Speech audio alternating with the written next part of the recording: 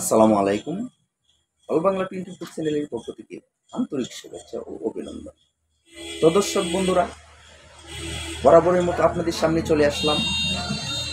আপনাদের সুখ দুঃখ জানার জন্য, আপনাদের সুখে দুঃখে কিছু পরামর্শ দেওয়ার জন্য, অর্থাৎ হাসির কামারের সুখ দুঃখের ব্যাপার বিষয় নিয়ে আলাপ আলোচনা করার জন্য আজকে চলে আসলাম।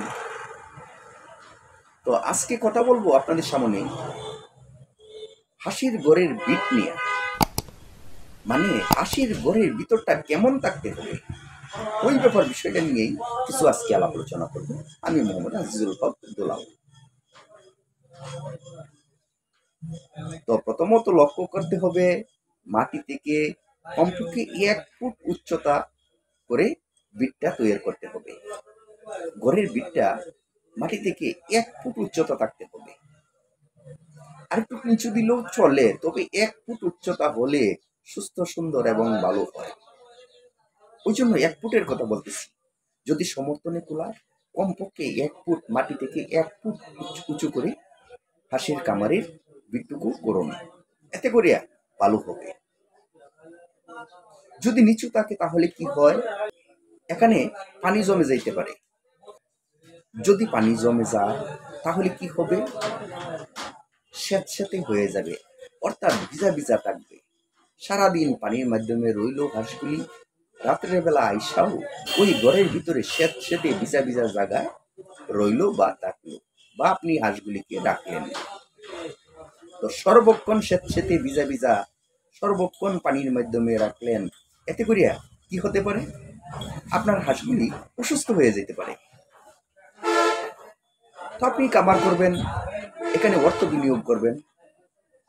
তাহলে আপনার কামারটা যদি অসুস্থ হয়ে যায়, তাহলে আপ- আপনার অবস্থানটা কি বুঝতেই পারতেছেন? তাহলে আপনি কামার করে লাভ হইল কি? আপনি তো লাভের আশায় কামার করছেন। আর একটা ব্যাপার বিষয় আমরা ভুল করে বসি।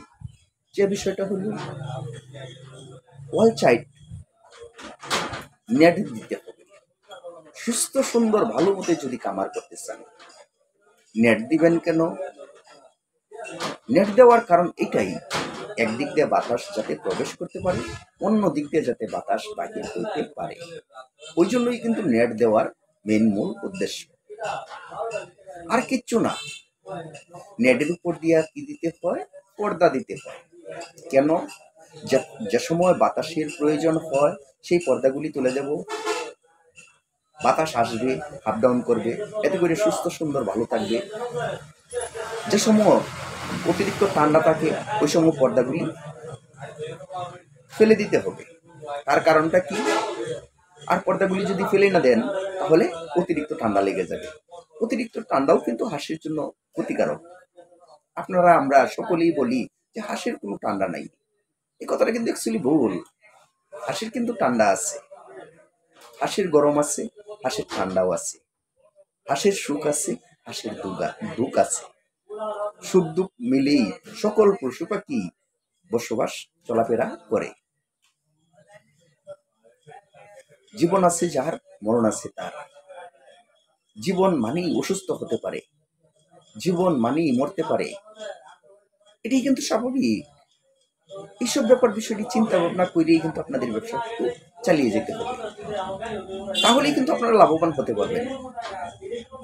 তাদের গরম কতটুকু গরম লাগতেছে? তারা কি সহ্য করতে পারতেছে কি না তাদের ঠান্ডা লাগতেছে। কতটুকু ঠান্ডা লাগতেছে? তারা কি তার ঠান্ডাটুকু সহ্য করতে পারতেছে কিনা? এইসব ব্যাপার বিষয়ে আপনাদের অনুভব করতে হবে। আর এইসব ব্যাপার বিষয়ে অনুভব করে যদি আপনারা হাঁস লালন পালন করেন, তাহলেই কিন্তু লাভবান হওয়া সম্ভব। আপনারা ওই হাঁসগুলির প্রতি খেয়াল রাখুন, নজর রাখুন। অটোমেটিকলি আপনারাও বুঝে যাবেন যে হাঁসগুলি কি আসলেই সুখ আছে কিনা এদের আরাম ব্যারাম আছে কিনা।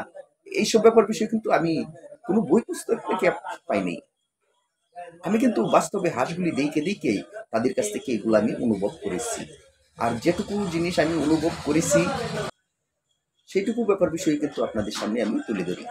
আপনাদের যদি একটা কথা কাজে লাগে, তাহলেই ওই ভিডিওটা এটা কিন্তু কোনো বইয়ের লেখা ব্যাপার বিষয় নিয়ে আলাপ আলোচনা আমি করি না। প্র্যাকটিক্যালে যা পেয়েছি, তাই কিন্তু আমি আপনাদের সামনে আলাপ আলোচনা করি। তো আপনারা সুস্থ, সুন্দর, ভালো হালে হাঁস লালন পালন করুন। আপনারা ভালো থাকুন, আপনাদের হাসির খামার ভালো থাকুক। এই প্রত্যাশায় আমি মোহাম্মদ আজিজুল রহমান দুলাল আপনাদের কাছ থেকে বিদায় নিতেছি। আল্লাহ হাফেজ।